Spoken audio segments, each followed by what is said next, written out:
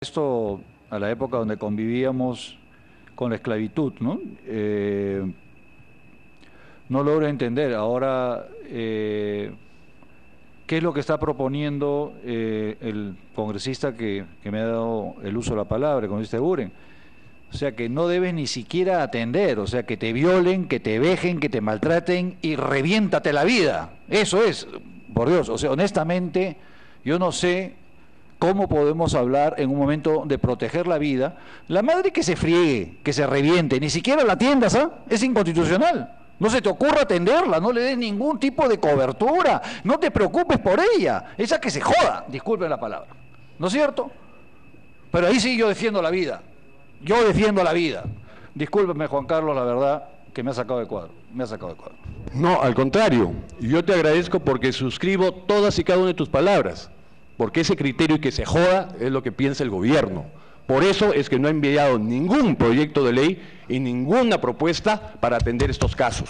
Ese es el gobierno que usted tiene, señora Bugataz. Permítame una segunda interrupción. Congresista Rosa Vila. Lo más congresista, Eguren por intermedio del presidente, que esta propuesta, señor, no la ha hecho el gobierno. Esta propuesta, señor, la han hecho más de cinco mil mujeres que se han tomado el trabajo, señor, de recopilar firmas a lo largo y ancho del país. Y no es cierto, señor, ¿cuántos? 64 mil, gracias. Y usted, señor, en su raciocinio, con todo respeto, nosotros nos conocemos, exagera, señor, y deforma el contenido sustantivo de la propuesta.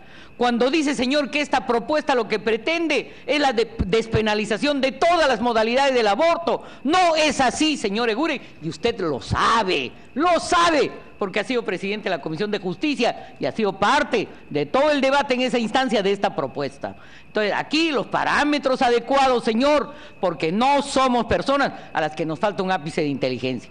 Aquí no está en debate la despenalización de todas las modalidades de aborto. Aquí, señor, está en debate la despenalización del aborto de la mujer violada. Eso es lo que estamos debatiendo.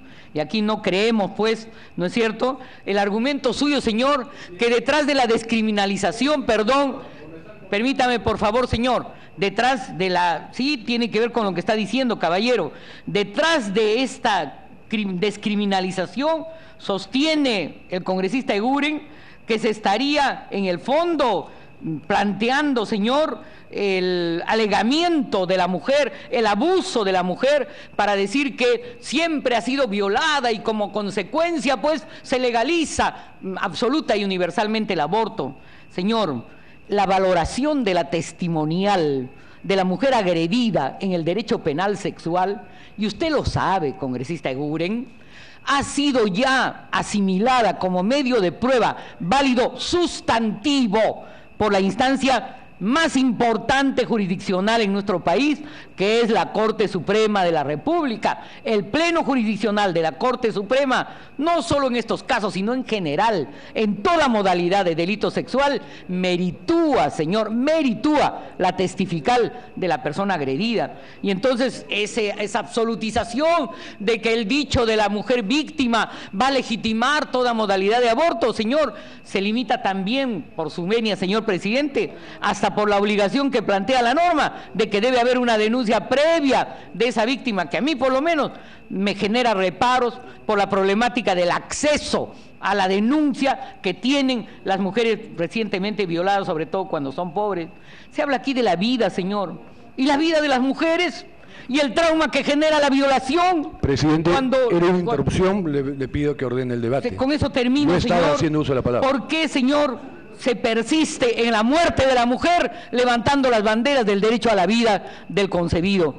El derecho a la vida del concebido, Señor, no es un absoluto. Tiene que medirse, Señor, en función también del derecho a la vida de las mujeres. Gracias, señor presidente. Concluya, congresista